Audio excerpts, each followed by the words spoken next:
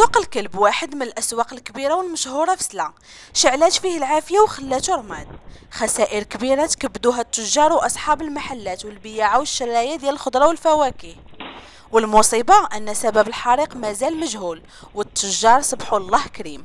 العشاء نقول لك هذاك الشيء ما نقدرش.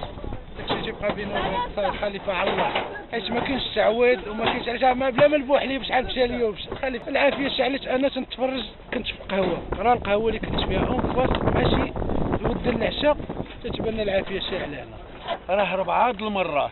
وجوج مرات في سوق سوق سوق, سوق الصالحين. وهنا سوق السعاده اربعه د المرات. جوج شعلوا آه هادوك. لا ماشي عمدا. شعلوا آه الناس واحد نسى الجمر وواحد نسى البوطة.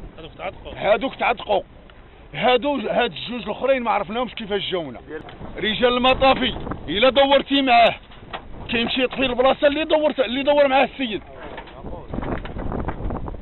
هادشي توصل الرأي العام.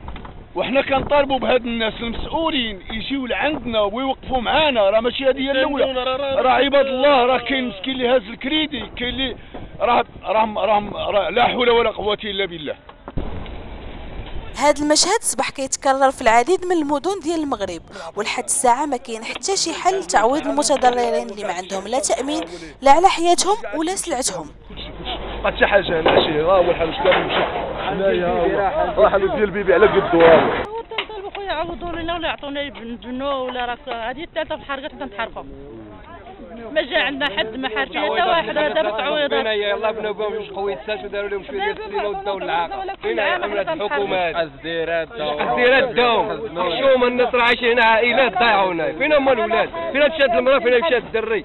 راه يولي العشران في السلال واش نجوا البارح؟ بنا واليوم. ناس 30 عام ولا 40 عام ضاعوا. جدودنا هنا مشاو هنا؟ فين هما حنا؟ عندنا والو هنا؟ والناس راه دير شي فضيحة هنا. واش بالكيران بالكيران المعقل الانتخابي كان هنا ديالو. هنا هنا. هادو الناس هاد الناس هذوما اللي تخلاو بالكيران الحكومة ما بقى بالكيران لا والو. عاش الملك ما كاين لا دولة لا حكومة. والو. الناس ضاعت فين مشات الناس هاد. شنو يكون ولادو. راه والو. الله الوطن الملك